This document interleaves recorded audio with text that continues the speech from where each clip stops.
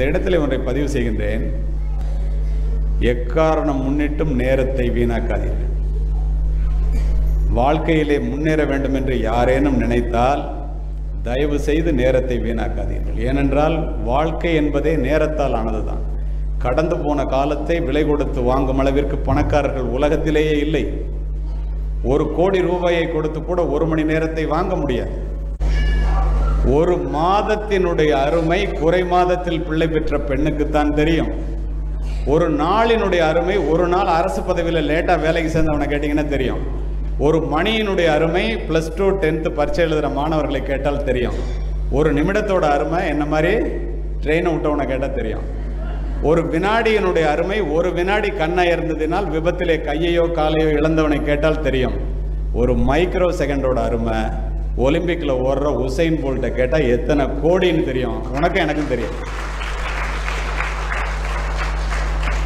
காலையிலே பெரும்பாலும் கிராமத்தில் இருக்கிறவங்க சீக்கிரம் எந்திரிச்சிருவீங்க. காலையிலே படுக்கையை விட்டு யாரெல்லாம் சீக்கிரமாக எழுந்திருக்கிறார்களோ குறிப்பாக பிள்ளைகளுக்கு அவர்கள் யாரும் வாழ்க்கையிலே தோற்பதில்லை.